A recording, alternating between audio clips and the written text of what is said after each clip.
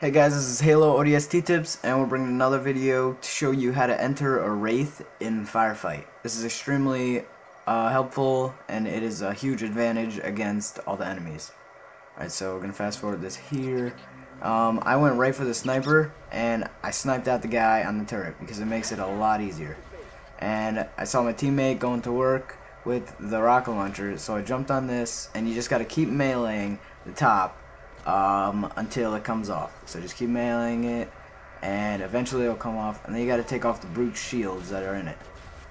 So you take off his shields, and you want your teammate to plasma pistol it, overcharge plasma pistol it, um, so you can, uh, you just are a lot more stable, and you can kill, get a headshot a lot easier. And when you're on it, you're gonna want to be holding B. Uh, well, for me it's B because I play bumper jumper, but if you play default, it'll be right bumper.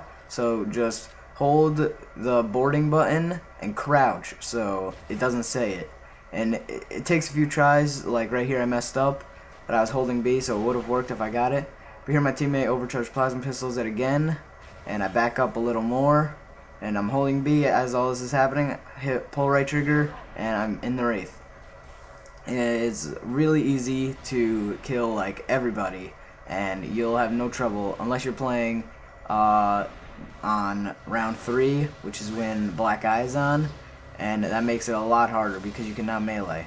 Here I'm just showing uh, what the plasma plasma turret looks like, and get a nice kill Killtrocity over here. Like you want to take out the phantom turrets because they uh, do a lot of damage. Also, you're gonna want to dodge grenades because they do a lot more damage than you would think. Uh, all right, here. Uh, if if you get out of the Wraith, even if your teammate is on the turret, you, they will die and it will count as your kill, as I demonstrate right here.